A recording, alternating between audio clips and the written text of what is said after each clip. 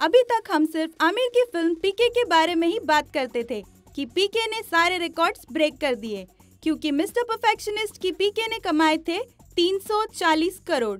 लेकिन लगता है आमिर खान अब एक नया रिकॉर्ड बनाने वाले हैं अपनी फ़िल्म दंगल के साथ, जो कि एक बायोपिक है रेसलर महावीर सिंह फोगट की लाइफ पे। नितेश तिवारी ने बहुत बखूबी इस फ़िल्म में महावीर, गीता और बबीता की कहानी को दिखाया है। इंस्पायरिंग स्टोरी, बेहतरीन स्क्रीन प्ले और सभी के अच्छे परफॉर्मेंस की वजह से ही ये फ़िल्म ऑडियंसेस को बेहद पसंद आ रही है। पिक्चर को इतना अच्छा रिस्पांस मिलने की वजह से ही इस फ़िल्म ने कमा लिए हैं 354.29 करोड़ और अभी भी फ़िल्म अच्छी जा रही है। तो देखते हैं, क्या आमिर खान एक ऐसा रिकॉर्ड बनाएँगे जो कोई तोड़ नहीं पाएगा? हम यही उम्मीद करते हैं कि आमिर की मूवी 400 करोड़ के ऊपर कमाए।